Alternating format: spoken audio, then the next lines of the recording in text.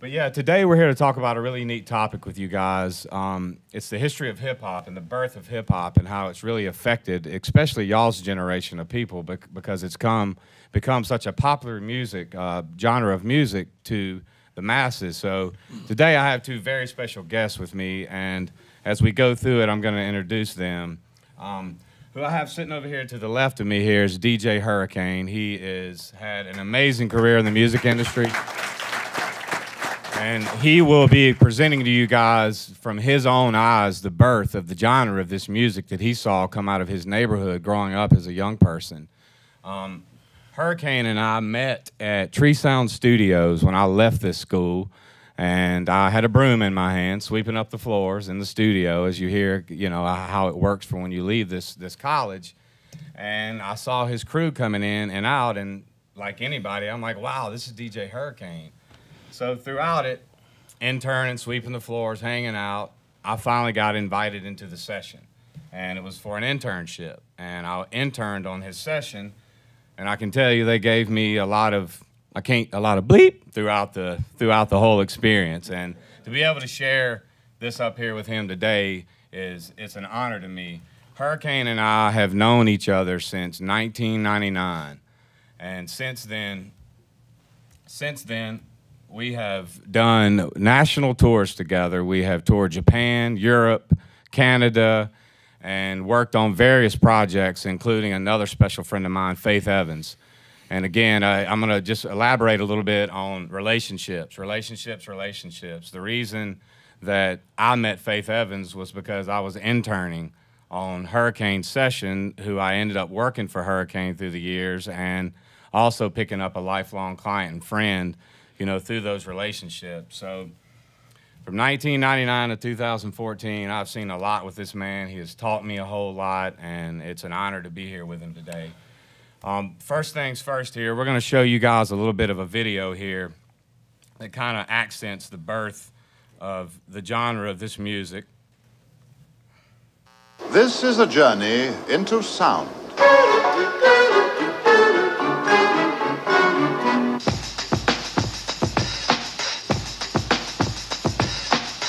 Is a journey into sound. A journey which along the way will bring to you new color, new dimension, new value.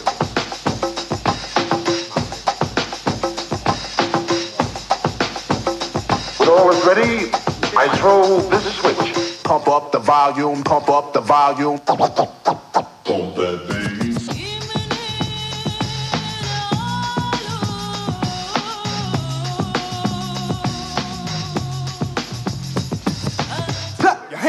Everybody, if you got what it takes. Cause I'm Kurtis Blow, and I want you to know that these are the breaks.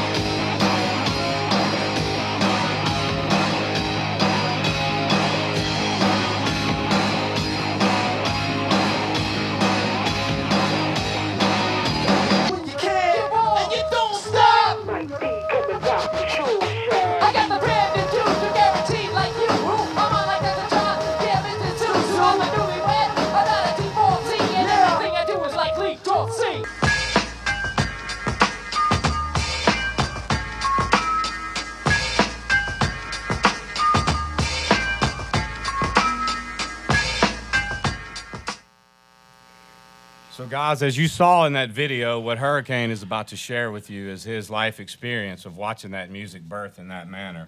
He's going to talk to you guys first a little bit about the early hip hop methods of things. I'm going to turn over to him now. He's going to talk with you a little bit about these things. All right, all right. How y'all doing? And I must say that Full Sail, I wish they had this school when I was growing up because I would have definitely been in here. It's a great school. So we're gonna talk about hip hop, um, the beginning, turntables, of course. Um, me growing up in the '70s, I had older brothers and older sisters, and they always DJ'd. And um, on the turntables, of course, when you first had the turntables, only one turntable. So you had to get two turntables to actually mix a record. It was a big mixer in my house, probably about this big. And you had two turntables, but there was no headphones. So to make headphones, my brother would grab a telephone and break the end of it and do what he do and plug it in and he actually be on the phone listening to it go left and right. You know, back then you had to pretty much be able to invent things because nowadays, I mean, back then you didn't have a lot of stuff, so you had to be able to coordinate your stuff. So the turntable itself, as far as hip hop, that was definitely the beginning of being able to go from left to right on the turntable with the mixer in order to keep the MC going, if you understand what I mean when I say turntable. Turntable was very important back then, and I learned how to master it. Back then, my sisters and brothers, they used to just mix the record. They didn't scratch the record. So um, I was able to uh, get a hold of some cassette tapes, because back then, you know, it was no radio with hip hop, so everything was pretty much hand to hand with cassettes. So you had to get yourself on a hip hop cassette to learn a lot of stuff. So I was able to get my hand on the cassette and then I wanted to scratch. But I knew I had to get out the house because they wouldn't let me touch the turntables because I was too young. So turntables was very important. And then second off, you have the records. Um, with hip hop, back then we didn't have our own beats. So we basically had the record shop for, say, a James Brown record or a Chic record. And in that record, it may have been a five minute record, but in that five minute record, you have to find a beat that was solo for maybe 10 seconds or maybe even less. And once you find that beat, you'll put that beat, you'll buy two records because one record couldn't do you no good. You get two records and you put them on the turntables and you have to go back and forth and make sure that that beat keeps going while the MC, better known as the rapper nowadays, would rap over the beat. So that was our music back then. Just two turntables, you find a beat. Something similar to like Aerosmith, Walk This Way, remember that record? In the beginning it had that beat, and then next thing you know, if that beat go off, that crazy guitar comes in. You couldn't let that happen if you was a DJ and you had a guy on the mic. You had to be able to really keep that beat going. So um, I wanted to rap, so I had to go find me a DJ to help me keep that beat going. Because like I said, my sisters and brothers, they were just into mixing the record back then. So with the records was very important. You know, nowadays, you know, nobody buys records no more. But back then, your collection was very important. Your collection of records was like your collection of beats that you make nowadays. So the records was very important. And um, you know, you can find anything from a, a Beatles to the Gees to James Brown.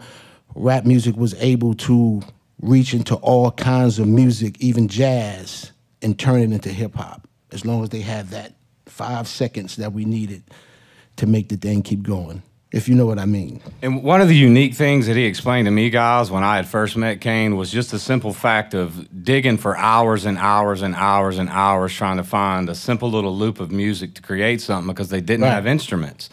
So one of the things he told me, I was like, "Wow, man, this is crazy." They used to take the labels and rip the labels off of the record. So if you had a nice beat Right. going, You could, you know, you, you didn't, you didn't want another DJ to come and look at your record and see what you was playing. So in order to protect your record, you had to scratch off the name of the band, the name of the record. So when they come looking at to see, oh, what's that beat? He couldn't see it because it was scratched off. You know, he had to go find it himself. So if he didn't have that juice to go find that beat, then that was just too bad. You know, so And then, you know, he's going to talk to you guys next about how actually the DJ came before the MC, and he's going to talk to you guys a little bit about some of the first notable um, um, MCs that he saw in the parks growing up in New York. Yeah, well, I'm from Hollis, Queens. Um, you know, hip hop started in the Bronx, but it didn't take long for it to get to Queens. This is a matter of months at the I could say at the most. So back then, um, it was guys like Grandmaster Flash and the Furious Five that I got my hand on the cassette, and I would hear them rap over the beat back then. And another group called the Treacherous Three, which is pretty much like the Beastie Boys was three rappers. Treacherous Three was a big influence on them because if you listen to the Treacherous Three records back then, it's three MCs and they all going back and forth on the mic. You know, one guy may do four bars, the next guy may do four bars, which is pretty much the Beastie Boy kind of style. You know, Treacherous Three. So it was groups like that that definitely um influenced us guys from Queens to go do our thing back then. Spoonie, Spoonie G, all kind of guys from the Bronx. So we definitely give credit to those guys. And the next thing, the next slide we're going into, guys, he's going to talk about the importance of, of the neighborhood and the community of, of being involved in the music to help take it to the mainstream with, with local promotions and a little bit about his first group that he formed. Yeah, um, back in the 70s, there was a guy named Davy D. I don't know if you ever heard of him, Davy DMX, who wound up being the DJ for Kurtis Blow. Uh, I lived on Hollis, say like 25th Street. He lived on like 215th Street. And um, when I first met him, he knew how to scratch. So I went to his house to watch him scratch so I can learn how to scratch. And we formed a group called Solo Sounds, which was actually the first hip hop group out of Hollis, Queens, before Run DMC was even a group. So um, Solo Sounds, what we would do to market ourselves back then, it was block parties. Block parties meaning that, you know, you had houses on this side and you had houses on this side. And then we would block off the street so no cars could come through, would say garbage cans or whatever. And um, then we would just start DJing out on the block. And everybody from the neighborhood would come to that block and party. And if we had cassettes at that time, we would sell the cassettes to everybody so that we would be known as a group. And that's how we got popular. And another element that stuck out to me the most of meeting Kane and hearing all these stories and, and being on the road and him talking about it to me was just as far as you hear all these things and it shows the love of the music that, that, that, this, that this community had of how much music inspired people in the community, right down to things like they didn't have power. So they'd splice in to street lights and run cables down to be able to get power Or the park you know, to host to Yeah. host the, Mhm. the, the block parties and again it's it's the love of music and that's why everybody's here right so you know it's, this genre of music is a very very cool component of, of, of that love Yeah, as far as the, the rap battles went, it was more of a rap was always a competitive game. So if one rapper thought he was good and he bragged about it, you know, then it was another rapper that was gonna come and tell him, Hey, I'm better than you and then they'll go and battle on the mic. So and you couldn't bite nobody's style. Like you couldn't sound like nobody. You had to sound like yourself. yeah in today's time let's that's what it is right Right, exactly. exactly. It'll be a lot of battles right hey, now. hey you're great you sound like that guy Right, that's the worst thing you, that could have happened back then is that you could have came out and sounded like somebody else. You'd just get killed. Like you wouldn't be able to walk off the block. They'd be like, "Get him out of here, boo!" And, and the and the other one of the other cool elements is is about the the genre of this music is the style and all the other things that came around it. You know, as you saw in the video, I was telling Kane one of my favorite parts that always sticks out is the scene from Beat Street when the guys are kind of grooving across the street, you know, in their Adidas pants and whatnot, and just the style of it. And Kane can tell you a little bit just about um, you know the breakdancing, you know, down to the graffiti that was involved in it as the backdrop. Right. You know, when it came to hip hop, you know, it was like you had the DJ, you had the MC, you had the breakdancing, and you had the graffiti. So when you DJ'd in a park, you know, it was a it was a certain time or a certain record that you would play that the breakdancers would know it's our time to get busy, you know, and then they'll just form a circle, and the breakdancing battle will happen. You know, before rap music, it was more gangs in the neighborhood. So once rap music came into play in New York City, the gangs just left because everybody started getting into the music. So the breakdancing battles and then the graffiti was always the background because we couldn't have the corny backgrounds. So you had your graffiti artists that was really loving graffiti, then you had your breakdancers that love breakdancers, then you had your DJs to rock the party, and then the DJs which invented the MC, better known as the rapper, because the DJ would tell the rapper, "Hey, just get on the mic and just talk, just talk mess, just brag about yourself, you know, talk about that," and that's how the MC came into play. And he already spoke to you guys a little bit. The next thing we're going to talk about here quickly to, to get into how it jumped into the mainstream was the, the importance of the first beatbox that was able to have a microphone in the front of it, a little mono microphone that they were able to set up and record these rap battles and whatnot in the neighborhood to put them on a mixtape. And Kane can tell you a little bit about maybe one of his first experiences with that. Um, as far as the mixtape goes, it was more of a like even before the you know radios had this thing called the pause button, which you had to play, you had the record, you had the fast. You know, people used to actually put a cassette inside the radio and make their own music just using the pause button. If you understand, what I mean, like you bam, bam, bam, bam, make your own pause button tape. Yeah, you guys call it the space bar. Yeah. so that was our space bar back then, and we were able to make cassette tapes, and it was very. Nowadays they call them mixtapes, which is what they're doing, which what we did like, like start. that piff, you know, all those. Except these Right. things were distributed hand to hand, which we're gonna in, we're gonna talk about a new business model that includes that as we get through this. So remember this element for sure. Yeah. Um, the next thing he's going to talk about is how those mixtapes ended up getting into the mainstream, which is the record executives that let's all give them a hand, right? Right. all the record executives that would come in and hear this new genre of music and it was such a had such a following and, and such an influence you know to the community you know they which is where typically any art grows out of the community. And that's again one of the cool things about this genre of music. Um, Kane's going to tell you guys a little bit about some of the first signed artists and some of the fir- first labels that were out there. Yeah, um, some of the first labels out there was, of course, was Sugar Hill, Enjoy, Tuff City. Um, Kurtis Blow signed with Mercury, which was the first major label to actually sign a rap artist, which was Kurtis Blow. Um, Russell Simmons, who grew up in my neighborhood. I grew up with Run DMC and Russell Simmons. We all grew up in the same small neighborhood. He was the manager of Kurtis Blow, so he was able to uh, get him a record deal with a major label back then. Russell was always a hustler. Like he always hustled to get money. He was very good at speaking with people hand to hand and always was good at getting on the phone and making things happen. So he made that happen for Kurtis Blow, and Kurtis Blow wound up getting really big off of that. So then all of a sudden, all these other labels start realizing that this rap thing could really go. They didn't really think it would last. It was more like calling it a fad. But um, once they seen it continuously kept making money, then all of a sudden here comes the radio. Here comes everything else into play. And the next thing we're going to talk about, guys, is is one of the coolest parts to me. From from where it hit mainstream for for Hurricane, he's going to talk to you guys a little bit about his first involvement with the major music, uh, the big time is what we call it. His first experience with the big time for this genre of music. And remember when he's telling you this stuff, guys, this is when this music was first born. It's one of the newest types of music out there outside of electronic music that we all know and that you guys probably listen to on the way over here. But it's it's really it's really neat to hear him talk about this stuff. So he he's going to tell you guys a little bit about his first experience um, in the in the big time.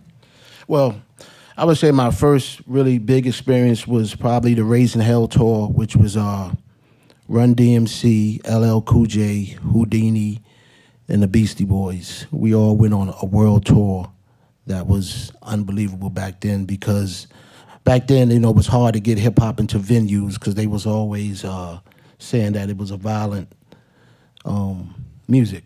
They didn't, they, they didn't really understand it pretty much. So going on that tour, you know, we toured all across the world with that tour. And amazing thing about that was, you know, going to these other countries and people that didn't even speak English, like we couldn't even ask them a simple question and they couldn't give us back the answer. But if we played that record, they knew all the words, all the words to the song, which was really crazy. You know, like you know, can I ask you a question? And like they speak in Japanese, but if you play that song, the whole entire audience knew all the words. So once we start seeing that in '86, you know, we are we really knew that we can definitely. And still to this day, I travel to Japan uh, once a year, and, and my first time going over there with Kane, I go over there, and and that style and that that era of hip hop still influences their culture more than you could imagine. It's like the kid that picked us up at the airport that knew you. I mean, he had the fat rope chain. I mean, he looked like he was out of Beat Street. Yeah. You know, and he could barely carry on a conversation with us, but. He knew everything about Hurricane. This kid, I, Yeah, those guys if we had more time, we could sit up here and laugh about him for the entire time. Yeah, the one guy. Um, uh, I don't know if you've seen Pharrell lately with that big hat Pharrell wears. Back in '86, that's the only hat they wore. Like I got pictures of those guys with that same hat on, and you be like, wow, yeah, they was wearing that. That, that was their hat back then. And then, and then from there, guys, in that tour, um, the next thing Kane's going to introduce you guys is a groundbreaking hip hop album that was released and really hit the mainstream and broke down barriers to to hit, and and what we call in the business crossover, you know, into into the markets, into all different types of culture. Yeah, uh, of course, it was the Raising Hell album with Run DMC. You know, with Walk This Way. That was the uh, first really crossover big rock mixed with rap record, and um, they did Rock Box before then, which was also mixed with rock, but it wasn't as big as Walk This Way. But that album sold a lot of records for the first time, as far as the album goes with uh, rap music. Then of course, uh, Beastie Boys, 1987, License to Ill tour. You know, that was a very huge record, and it was number one. I can't remember how long it was number one, but it broke records also. And um, License to Ill, of course, we went on tour around the world again, probably about four or five times, and um, it was unbelievable. I got to keep those How stories. many, yeah, how many hotel rooms did y'all tear up during that time, and how, Yeah. how did the check-in process work for y'all every time you went to a hotel? we got banned from a lot of hotels. Put it this way, like we had to actually change our names. Like we was Fuzzy Zola and you know Bill Witherme. Like we never would tell a hotel our real name when it was time to check in. We'd hide the tour bus behind the um, hotel, send a manager around there. He'll give them a list of just false names because if they knew it was us, they wasn't letting us in the hotel. And the thing of that, think of uh, when you get out of here, all you that want to be a road manager, think of an artist walking up to you and saying, "Hey, here's our list of fake names. Now go make it happen." Yeah, but back then, and then tell them no, and watch what happens. back then you didn't have to go to the desk and get ID or nothing. you Yeah, know, yeah. just- Thanks to you guys, we got to do that now. We appreciate that. Hey, well, And then, and then, guys, the next tour he's going to talk about is another great big tour again that broke down boundaries. Is is the Together Forever tour? oh yeah, that tour was huge. That was um, at the height of Run DMC and also Beastie Boys, and also Davy D, which I talked about earlier. So on that tour, I was on stage with all three acts. Um, I was rapping and DJing with Davy D. We would get on the turntables and do this. We invented this thing called a cipher, which he would scratch back and forth. Then I'd come right behind him, back and forth, back and forth, back and forth. And then after we go off stage, I'd come and DJ for the Beastie Boys and do that thing. Then Run DMC would come on, and I was like a Flavor Flav type guy with them. So I was on stage on all three groups, and um, I was tired.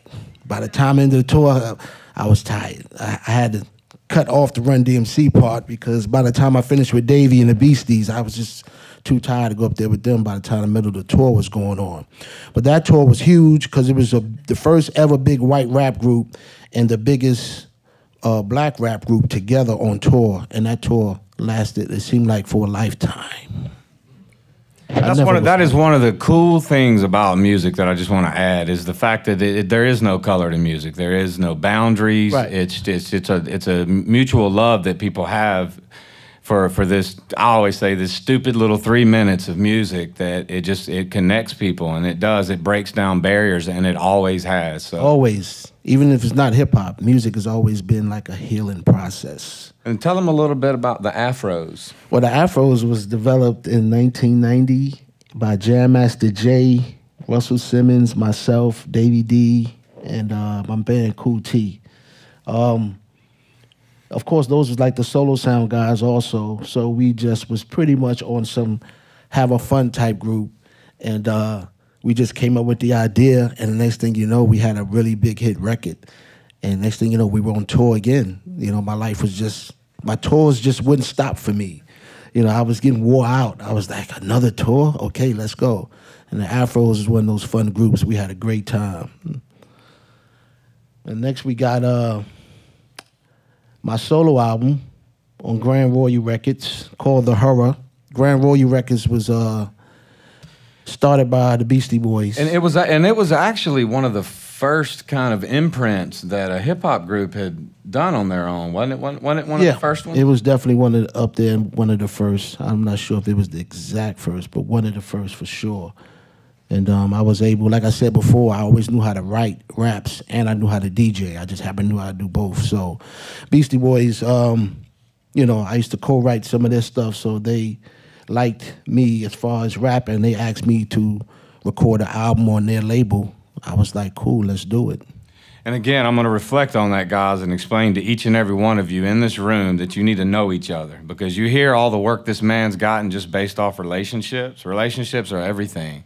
You know, his career has continued to grow, and especially for mine. So I want to let you know that don't leave this school without talking to each other. Get these people's contacts, stay in touch with each other, and shake the person's hand sitting next to you. Don't be too cool because you're not. You all Yeah. need each other when you get out of here. I can grant you that. especially in entertainment, you know, meeting people is very important. You know, however you meet a person, the impression that you leave is going to let that person know if that person wants to do business. Which when I first met Brad, he was. Oh, Wait a minute. Hold up. no, go ahead. He was no, no, no, no. Really, he was a humble kid. He just got out of college. He was quiet. He didn't get in your way, and um, you know, he had to swallow. Because when I was in the studio, I was with a couple of other guys in the studio who was a little bit more Uh, rough on you, right? Yeah, they were the goons, as I would call them. But you know, you took it, and look at you now. That's I mean. I introduced them to uh, Faith Evans, and I re- I actually recommended him. You know, when you recommend somebody, you know that's like your word. You know, somebody asks you like, "Hey, how was such and such?" and if you say that person is pretty good, and that person goes with that person and really just screws you up, that person's not going to take your word anymore. Brad is the man. Oh, well, thank you, brother. Thank I you. feel the same way about you.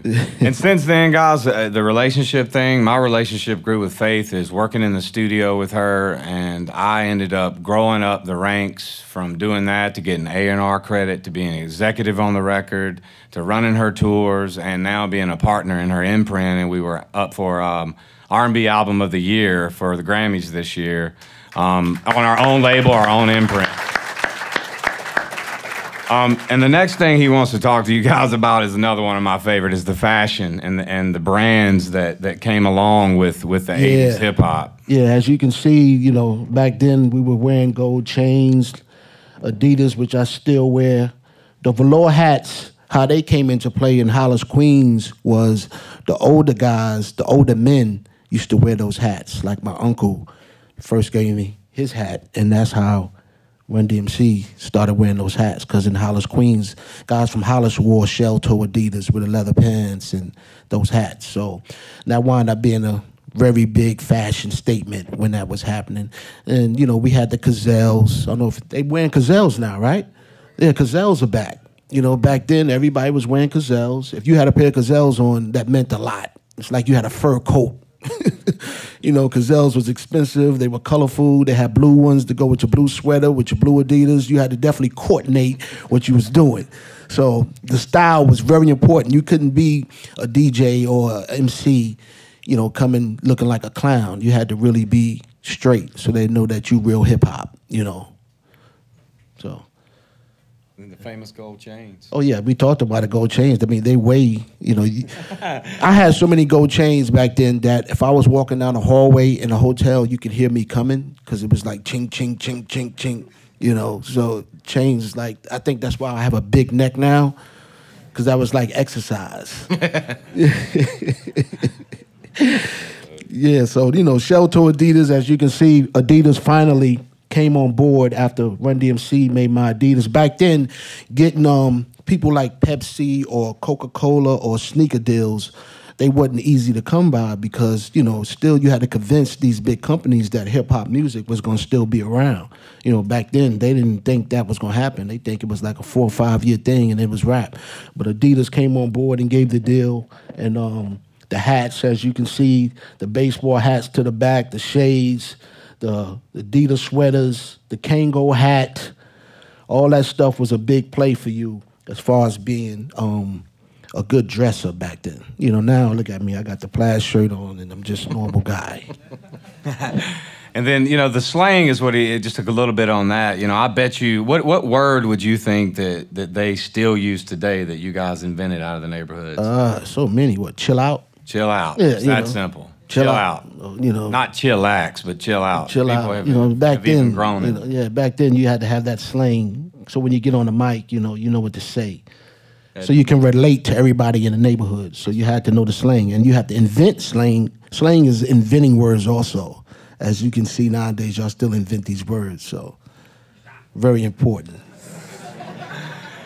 And then you know, again, back we're, we're talk. We're going to reflect a little bit more on as far as is the promotion side of it, and and the first appearances of hip hop to the mainstream. And he's going to talk to you guys a little bit about those appearances and features. Yeah, um, back then, you know, getting on a TV show was really big. You had Dick Clark's show, which was the American Bandstand, and uh, we was probably like the first rap group to get on American Bandstand. As you can see, my man MCA is on the floor. What is he doing? you know, we was pretty wild. Then, of course, you had Yo MTV Raps with Fab Five Freddy. That was pretty big back then to get on that show. Um, uh, Soul Train was huge back then. If you can get on Soul Train, that was really big because everybody really respected Don Cornelius back then. So getting on those shows was really big, and we didn't have a lot of uh, magazines that we can get into, but magazines like Right On was a very big magazine to get into. Um, they had another magazine like Word Up magazine. It wasn't many. It was probably like three of them. But if you was in that magazine, that means you pretty much made it because um, they knew who you was. And then the next thing is just that we this is a, it's a little redundant, but we we want to as we go through the presentation, we want to let you guys know the importance of touring. You know, touring the jobs is a lot of touring uh, jobs out there, so we kind of reflected a little bit here of how important the, the, the tour is to support an album. Yeah, you know, um, without a tour, you know, it's very hard to really get your music, you know, really, really huge across the world, not just in your neighborhood. You know, you can be big in your neighborhood and think you're a really big artist, you know, but then when you go outside your neighborhood, you know, nobody knows you, nobody knows your record, you're gonna be like, wow, I thought I was big. So touring is very important because it puts you in front of all kind of people that might not know you. Or if they do know you and they see you performing, now they feel like they can touch you and they can understand where you're coming from more. So getting on tour, not only that, seeing the world. I mean, I went to Jerusalem. I never thought I'd go to Jerusalem. You know, I'm in Jerusalem where Jesus was crucified, and I'm walking the steps where he walked. You know, and I'm like, wow, I'm all over the world. Right? That's right, all over the world. And then the in stores, guys, which is another thing that we all know in today's time has completely went away. You know, it's, it, it's Tower Tower Records. All most of all the major retail stores have closed down because the music industry has lost product. We no longer have a product to sell. You go online and you download a digital version of something. There is no product to push. So the in stores have obviously disappeared today, but Kane's going to tell you a little bit about the importance of showing up to the to the record stores in the neighborhoods. Yeah, you know, it's always important to be uh, visual and nice to your fans. So back then, we was always go into different cities, and as soon as we go to that city, we go to the first record store, which was more likely a mom and pop store, is what they called them.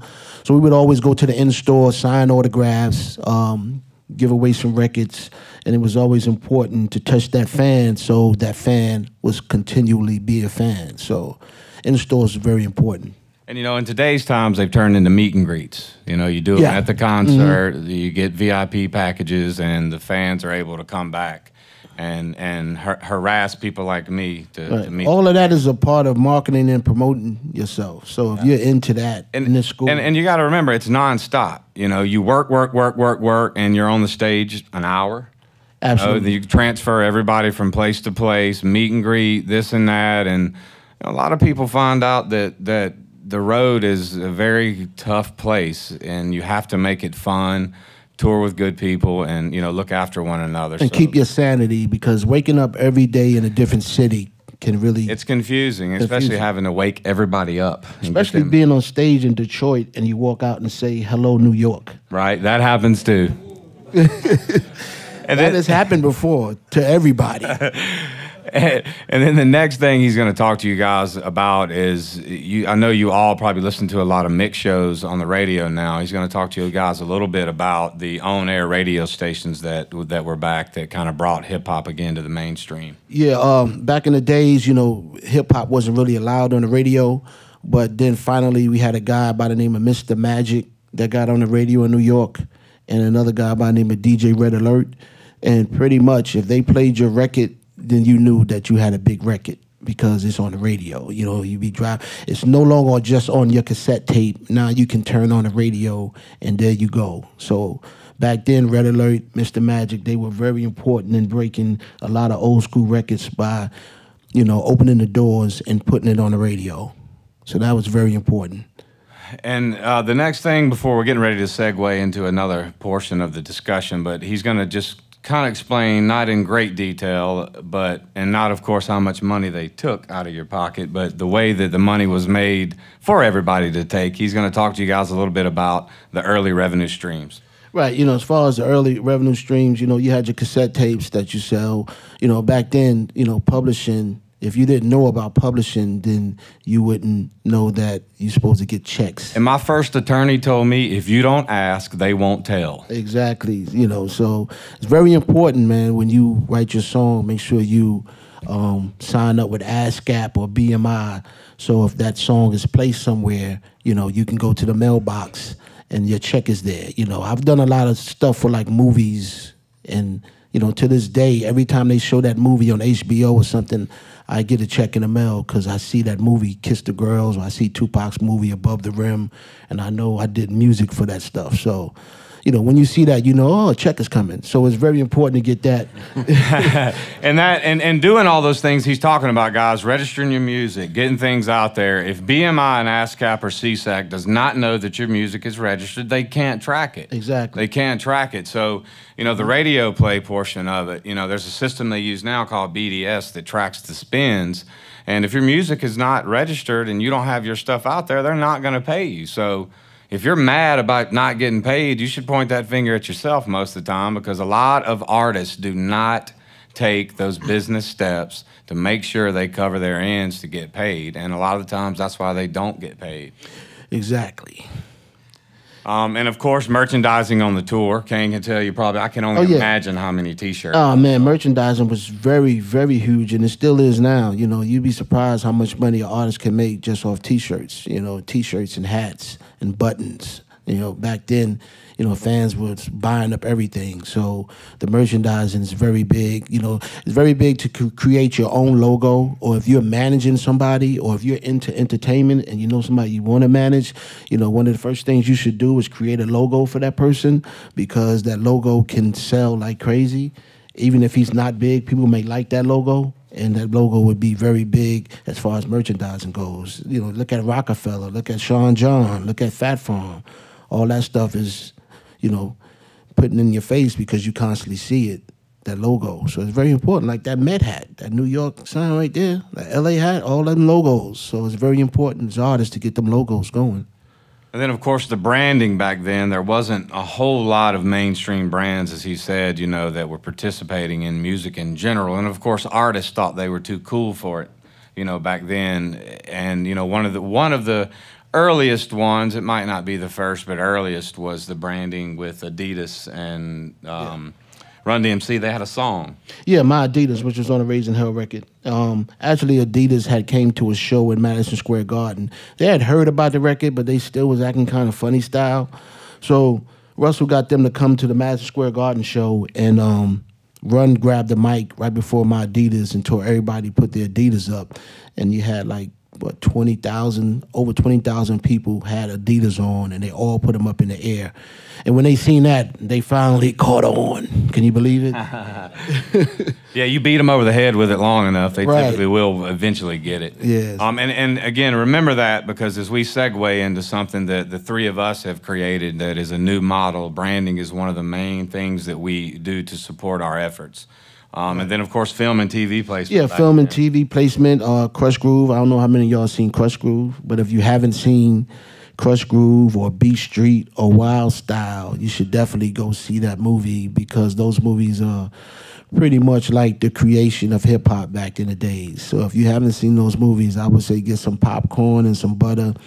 You know, with some, a soda or something, whatever you do, and sit down and, and laugh because it's all it's kind of funny too when you look at it back then how you know everybody was dressing, how everybody was acting, and how hip hop you know began. So I would say definitely check that out.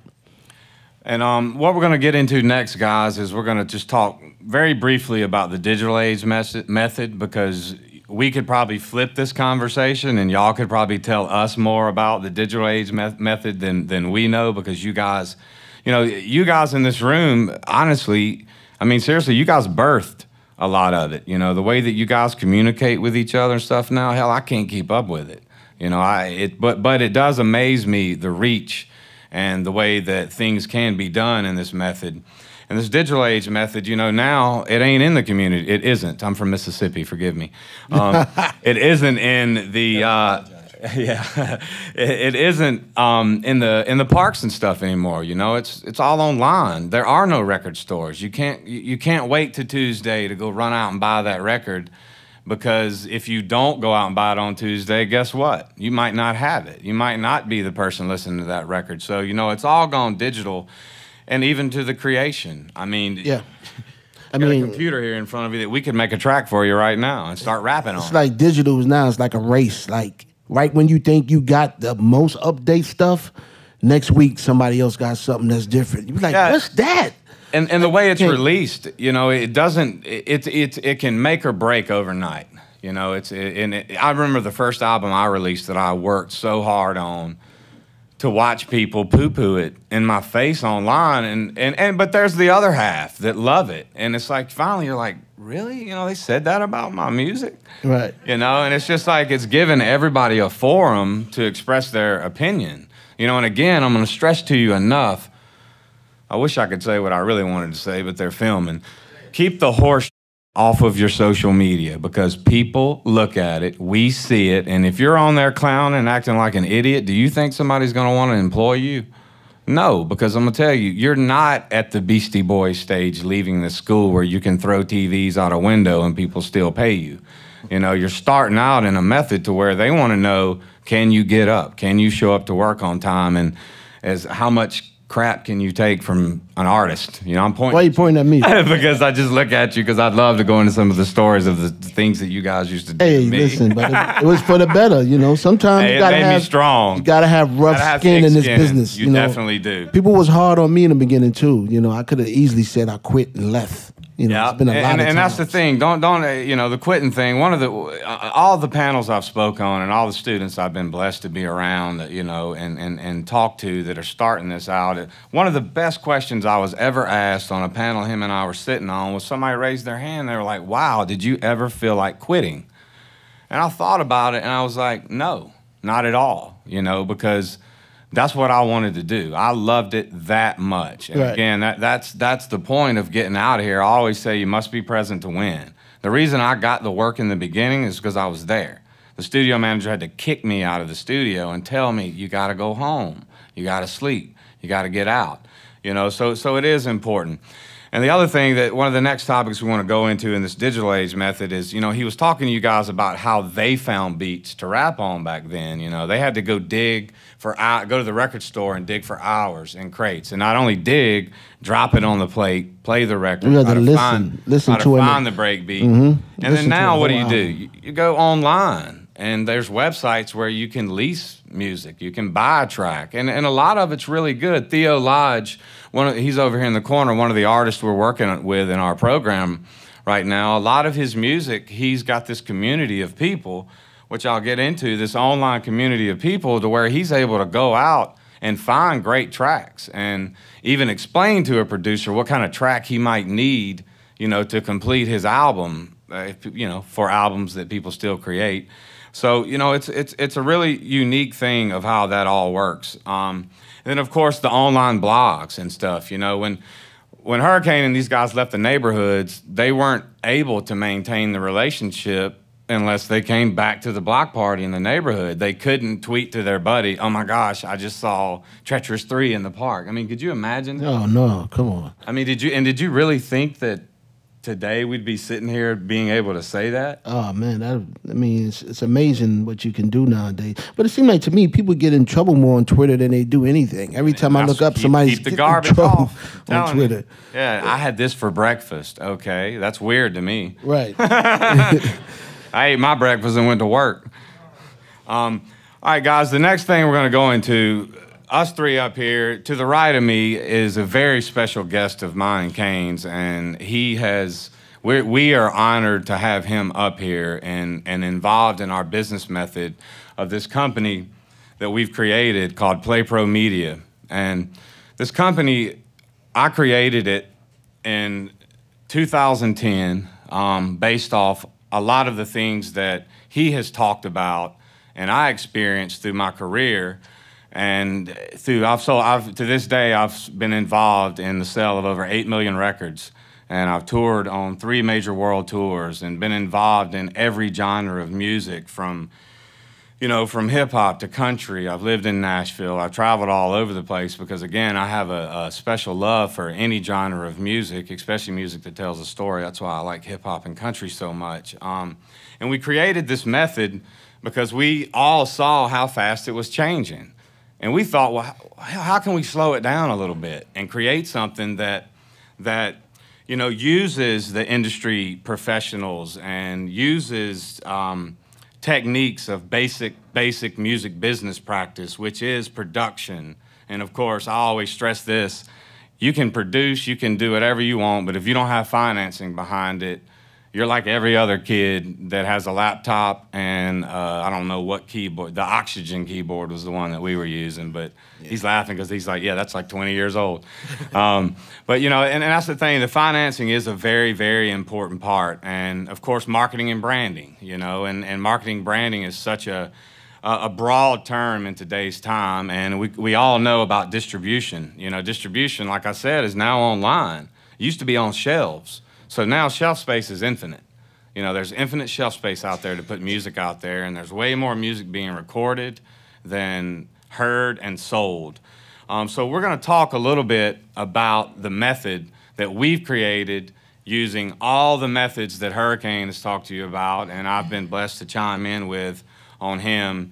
And we've created this method, and guys, this is I'm going to introduce him on the next slide. Forgive me. This this thing is not is my. that guy? Yeah, this is my best guy here. Um, we're going to talk about this method here. What we've basically done, guys, is something real unique. Um, we have created a national music community market, and it's allowed us to be able to discover, create, and promote music nationally. And what we've done is we have set up a method where we have college housing communities and there's 37,000 kids living in these housing housing communities communities across 68 markets. And, you know, Kane, you know, it's kind of from hearing from him, it was kind of like the community. It's a community thing, you know. But what it's allowed us to do was not create one community in Hollis, Queens, but 68 of them across the nation. That who does everybody want to reach? College kids, right? Everybody, everybody wants to reach college kids. So, you got anything to add to that, or should keep? I mean, yeah. I mean, like I said back before, you know, the block parties where everybody stays. Pretty much the college community is that young vibe, that energy. So basically, what Play Pro is doing is reaching all those communities at the college, just like the block parties back then, and coming into the college communities and creating a block party all over again and doing hand to hand with everybody as far as marketing and promotion and everything. So that's pretty much what you where yeah, you're going. That's that's where we're going. Right. And what we've done in in that community is we've created a thing called the the Play Pro Media Nation, and in that nation. When I set up this company, again, I knew I obviously needed financing and I needed a way to market and distribute because discovery, again, I could get online and play you 100 bands and you could listen to them all day long, but out of that 100, you might find one, and Dr. Loe is going to talk to you guys about this. Um, but we created the PPM Nation, and, and what you see on this map, these pinpoints are, they're college housing communities. And what our company has done is we've retained the special event rights to these properties, which allows us to do what? Host a block party on it for all the college kids. It's um, allowed us to market and brand whatever we want across that property as long as it isn't completely offensive. You know, we're able to brand the basketball courts. We're able to brand the swimming pools. We're able to brand all kinds of things across here, you know, to help support our music efforts. Um, you know, and we also do company structured externships that we work with young people like yourselves in these markets to help in these efforts. And we're going to talk a little bit more about that as we keep going. Um, the area that it's drawn to, we've set up a website called playpromedia.com. And we basically through our PPM Nation, all our people are promoting for us. They're promoting for us. Well, guess where we're driving the traffic? Back to our website. Why do I want to give it to Twitter? Why do I want to keep building their brand? We work with people like you. Imagine if everybody in here tweeted what we were doing right now, and in a positive way, of course. Tweeted that. The reach of that, it's very strong and it's very, very impactful. Then you go a step further, and we leave here and start looking at all your friends, your friends, your friends, your friends, and we start leveraging, you know, that that social media effort, and then you create what they call a viral spin. Um, and we create our online communities within playpromedia.com. And we're going to show you guys a video here of similar to what you saw in the first part of the presentation, but with a little updated twist on it.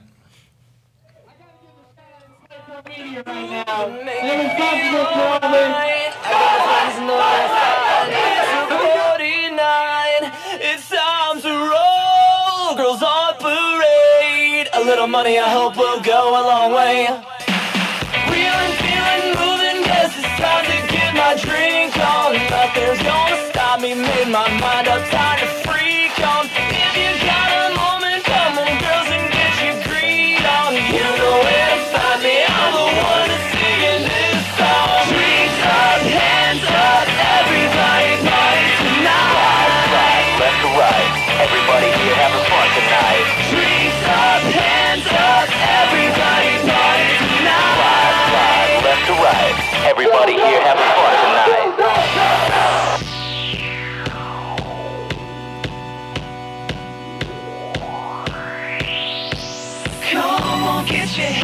up, everybody.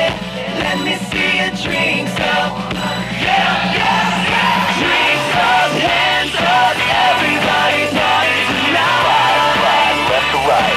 Shout out to here Play Pro Media. Check out playpromedia.com and play on. Play on, play on, play on. Yeah. So there, guys, is the kind of version of what we've created based off all those elements that we've talked to y'all about, you know. And for us, it's been a long journey to get it to this point to where, as you see, we have a community full of people. And what we focus on is finding new music because Right. I, that's one of, and I know speaking for Kane too, it's one of my favorite things to do. I love music at the early stages. I love working with young-minded people. Exactly, because they're hungry and they want to succeed. That's, like right. the guy over here say he's into entertainment. Well, this guy over here may be an artist. You may have another guy over there that's the engineer. So you got the guy that's in the entertainment. You got the guy that's in the marketing. You got the guy that's a rapper.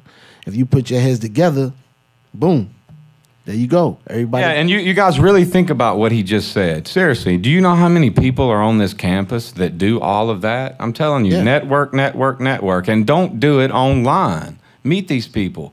Come to these events like this because the uh, Full Sail works really hard for you guys to put these kind of events together. I can tell you from touring of how hard it is to coordinate these things, and they're not doing it for themselves. They're doing it for y'all. And if you don't take advantage of it, you're doing yourself a big disservice, and you're you, you're gonna fall behind. You're gonna fall behind the next guy that did show up, that did participate, that did shake the person's hand, that did walk out of here knowing like, wow, if I got one thing, I know I need to step up my game on talking to people and getting to know people on this campus. So where we've created our communities, guys, is on our website, playpromedia.com. It's our content aggregator and it is our community and it's where we basically host all of our stuff that we do, all the music that we find that we want to feature. So if we've got featured music on our site and we ask all of y'all to tweet to check out this artist, guess where we drive them to? Back to our site. Why would I want to send it anywhere else? Seriously, why? Why would you? You need the hit. And what, what we do is then we take the hit, the website hit, and we resell it to a brand.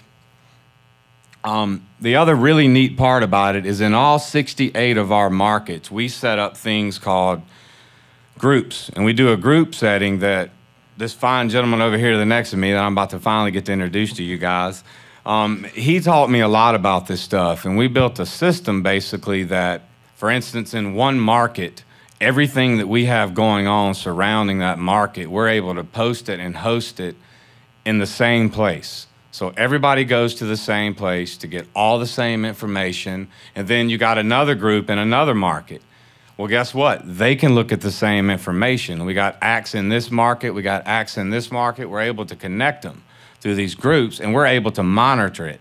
And then what we're also able to do is what? The analytics. We're able to take all the analytics and we're able to show a brand that we've got traffic. We're getting recognized. You know, I even almost leave the labels out, and the labels can see that our artists, like Macklemore and those guys, Right. You know, the good those- thing about Play Pro also is for the students is that even when you're in school, you actually get to do what you in school to do. You actually get to touch it. You know what I mean? So if you're into marketing and we do one of these events with Brad, we'll have you a job doing marketing for that event to make that event big. You know, if you're an engineer, it's an opportunity that you can come in and engineer a session while you're still in school. So by the time you're out of school, you already have some kind of experience of actually doing these things so that when you do out of school, it's not like you, you know, you out there in the world now, and you don't know how to do it, you know. So it definitely helps out as far as being hands on. Absolutely. And right now, guys, we're I'm going to embarrass some people in here. We're we're actually on campus right now running this model here. We have a property here in Orlando called the Lofts, my team is over here to the left. Artists, everybody stand up and say hello to everybody. Oh. I said stand up. Come on, don't be shy. Put them on the spot, B. That's that's welcome to the party.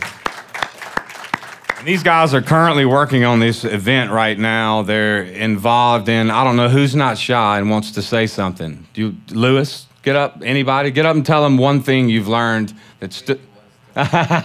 We're gonna not mess with Brittany. Go ahead, Al. I mean, I ain't really got a whole lot to say about it. He pretty much nailed everything on here, man. Uh, it's a really, really, really good company. I'm very honored and excited to actually be a part of this whole thing, regardless of how it ends up. But uh, the thing he just had up, the Hoops and Hits 2.0, is going to be a big event. I definitely expect everybody to be to be there, pretty much.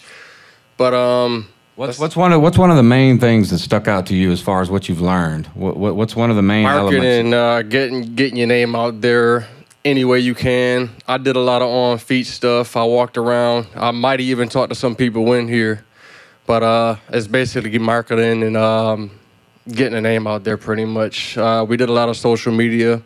Like I said, on foot, social media, uh, any way you possibly can, get your name out there. And they taught us a lot about that. All right, And thank you. I'll get give end him- over there definitely showed us a lot of stuff too. Yeah, on, I'm uh, about to working get with to him too because they just gave me the. And you know what's so cool out. about what he just said when he said he's walking, doing hand to hand? You know, I I watched Russell Simmons actually do that in the neighborhood. Yep. I watched him walk around handing out flyers, knocking on the door to the clubs, wanting to do parties. You know, that's how he started. So that's a that's a beautiful thing. All right, guys. Um, now I want to introduce to y'all um, a very, very special guest that has been a very big influence in my life uh, in this new journey that I've I've uh, come upon. And and Kane and I, I mean, really, Kane and I hang around a lot of cool people, and being around this gentleman has been one of the coolest things that I've been able to be around because what he what he shares with people and what he's created is is unbelievable. This is Terry Loe. We call him he Dr. Terry Loe. We call him Dr. T Loe. You guys give him a hand. He is the director. Kind of look over to the screen here because I don't want to use up a lot of his time ex- explaining uh, all the wonderful things he's done. He's he's the director for the Center for Professional Selling at KSU, and he's founded this thing called the National Collegiate Sales Competition. And guys, it's one of the coolest sales things that I have ever been to. And I when I saw it, it brought a whole new light of what the selling process really, really is about. And I'm going to turn it over to our, our special guest, Dr. Loe, and let him talk to you guys a little bit about the philosophy of selling. Yes, Dr. Loe. Thank you, Brad. You're welcome, brother. I know the whole time you've been sitting there saying, "Who is that guy up there?" He's not saying anything. I, I've learned a lot. It's been really cool. I've, I've had a chance to come down uh, in January and meet with the with the class and the students and the and the team that's working on the project now. And this this is one of the uh, coolest things in the world. Uh, I've enjoyed it a lot. So, what? am- Why am I here? As you've seen. Uh, the business model for what you guys are doing, what you're going into, has changed. Uh, Hurricane and Brad have talked about it. You've seen it. Uh, you've experienced. So, how do you go about uh, engaging that? How do you go about doing it?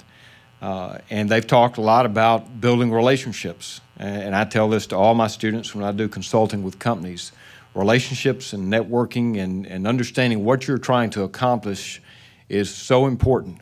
So, how do you do that? What, what's the skill set that you need in order to develop relationships? And you think, well, there, there are people who are born to be salespeople and they're outgoing, et cetera. But there's some skills that you, you can learn. And for you to survive when you go out now, uh, as you know, it's uh, you know to make it to the big stage, to the, make it to the big show. Uh, there's not that many people who are going to be able to do that. So if you want to be around what you're doing right now, you have to develop a skill set that allows you to do that. You still want to want to have a be a part of the dream that you've had all your life. Uh, I'm the same way. I actually I can't believe I'm getting paid to do what I do right now. Uh, and here's something that's that's special. Here, this is this is something you have to uh, understand what we're trying to do, what you want to do, what companies want to do. And I, and I guess I, I look at it. Uh, I'm I grew up during, during the rap era uh, and the hip hop era, and so I remember all this. I didn't wear much of it, but uh, but I do remember all that going on. Uh, so it, it's a um, uh, and being around artists, the few I have, and the time I've been around Brad uh, and the people he works with, there's something that I've I've found out, and listening to the, all the old artists, even from the 50s, 60s, 70s, and then listen just listen to these guys talk. They didn't start out in music to make money. I mean, they that might have been in the back of their mind, but what they're doing is a passion. It's something they really want to do, something they enjoy doing, and there's a reward for other people listening to your music and it changing their lives. You right. You just hit it around the nose. We got paid White Castle hamburgers, so we was doing it for passion back there. I just had to say that. Yeah, but anytime you find something that you're really good at, people will reward you for it. Now, you do have to get a lawyer nowadays to make sure you do get rewarded for it. But that's that's the center of being really, really good, being a world world class performer at anything. And here's what I found out, and I listen to these artists. They have a passion. They, have a vision for what they want to happen. And you probably, all you guys right now, probably have an idea and a goal in mind of where you want to be, what you want to do, and you can picture yourself. There's a, you, you can see it. And so there's a mission statement within you of what you want to be and what you want to be about. Funny thing is, only the most successful people in the world, in, in all walks of life, they have that vision. And it's no different for, for companies. There's lots and lots of research on, on the companies who have outperformed all the other companies in their industry over 30, 40, 50 years. And that central difference, the characteristic that made them different, the company themselves, is that they had a, a, a, driving purpose in their life, in the, in the culture of the company, beyond just making money. They believed they were doing something that made a difference in the lives of people and the customers that they have. So it's important for you to fully understand what it is that you're about and to be successful in some of the how-tos to get past. Uh, you know, you're if you're in production, you're in engineering, you're an artist. You know, you've got to get together. You've got to work together, and there are some how-tos and a process to do that. So how do you do it? And, and Brad said something earlier about wanting to quit and not quitting. Well, there there is actually a scientific process in understanding how you work with other people. And the process of, of try, trying to find an artist is no different from trying to find um, uh, somebody who to represent you or to to uh, to sponsor your program. And these guys right here, they've been out talking to lots and lots of companies, uh, and you're going to. And I'm an old jock, an old baseball player, so I always relate it to batting. If I fail seven times out of ten, then I'm I'm in the Hall of Fame. But that's the case also with selling and building relationships and almost anything that's worthwhile. Uh, Brad was telling me a few days ago, said, you know, I've probably failed more times than anybody. But he got back up and did it again. He kept getting back up and doing it. And the numbers are these. And these are average numbers that you see up here. Uh, if you talk to a thousand people in the sales arena, uh, you get to see about a hundred of them that might have an interest in what you're doing. and then you might go ahead. Yep, and what he's talking about, guys, it's not used car salesman knowledge that he's sharing with you. He's sharing with you. Think about how many albums are recorded a year, okay, and think how many songs are actually on that album. Now think about that as a funnel of how how the chances are of you getting a song on a record. It's slim to none. But if you do it thousands and thousands and thousands of times and you keep at it, you eventually start playing the odds and you win. So, you know, it goes hand in hand with a lot of things. So here's, and, and I'd, I'd usually like to get to know the audience just a little bit. So, how many of you in here are, are salespeople? How many of you are involved in sales? Okay, how many are not involved in sales? Okay, now here's the question How many of you have friends? Hands. Some of you don't have friends, I see that. Uh, boyfriend, girlfriend, partner. Okay, kids. Okay, you got friends, you've got a partner, boyfriend, girlfriend, husband, wife, you got kids. You're selling. You may have heard that before. But the process to develop relationships and to persuade people is the same for everyone. And the science behind it is this, and, and there's actually lots of research on this. When people make decisions in their lives, they go through a predictable, repeatable process. So when you decided to buy the hat, the scarf, the car, uh, the chains, the shoes, you went through a process that's about four or five steps in that process. And I know you're going to go through it. If you decide you're going to go into a certain major, you're going to become an engineer. You thought through there's there's some thing you went through the same process in order to come up with this is what I'm going to do with my life. So anytime you make a decision, there's a predictable, repeatable process that you're going to go through. So if I want to persuade you, if I want to influence you in some way, then if I understand the process that you're going through, I'm going to have a better chance of persuading you. And here's, here's, the, here's the, the key to that in persuading people. On that first slide back there, we, talked, we talk about we're not out trying to sell partnerships or we're not out trying to sell sponsorships. What we're trying to do is, is find people who need what we have. If you want to persuade someone, you find someone who needs what you have. It's not talking someone into wanting what you have but it's really revealing what they want. So it's more about them. It's not about you talking about what you want to do. It's more about understanding who they are and what they're about. It's about developing the relationships with those we want to persuade. And everything that Brad and Kane have talked about up here of the networking and getting to know people, that is a skill that you can actually learn. How are we doing? Good. Okay. We got a couple minutes. All right. So, as a salesperson, and I've, I've tried to help people learn over the last 20 years, selling, sell is not a four letter word. It's something that we do every day, something we, we are engaged in every day. We call it something else sometimes persuasion or influence or whatever you want to call it. But it's more about understanding the other person, understanding what they want and what they need, and then trying to help them get what they want and what they need. And in turn, I will get that. Yeah, and what what he's telling you, what he's telling the guys, again, I, you have to really understand that because what do you think when you when you presented a song to an artist? What are you going to sit up there and talk about yourself? Well, you go ahead and do that, and you're not going to get your song cut. You ask about them.